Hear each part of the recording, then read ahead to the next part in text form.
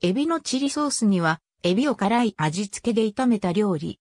エビチリという略称で呼ばれることも多い。現在知られているポピュラーなレシピは、中華料理人の陳建民が日本で中華料理店を営むにあたり、上海風四川料理の犬焼きエビ、ひとしをアレンジしたレシピが広まったものである。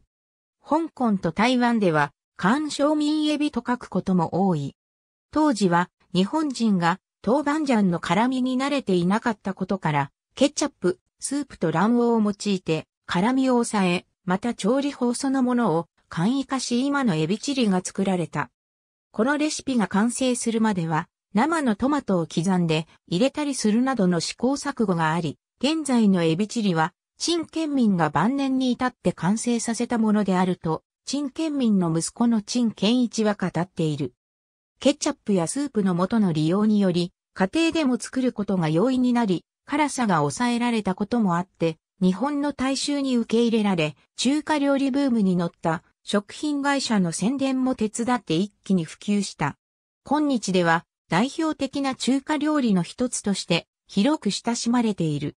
なお、韓国の中華料理として、犬焼きエビひとしから派生した干渉セウ、またはチルリセウと呼ばれるものがあり、干渉は中国語の犬焼きの読みの転写、チルリは英語で唐辛子を意味する、チリ、セウはエビを意味する。元来唐辛子の辛さに慣れていたことから、日本のものよりは中国のものに近い。ありがとうございます。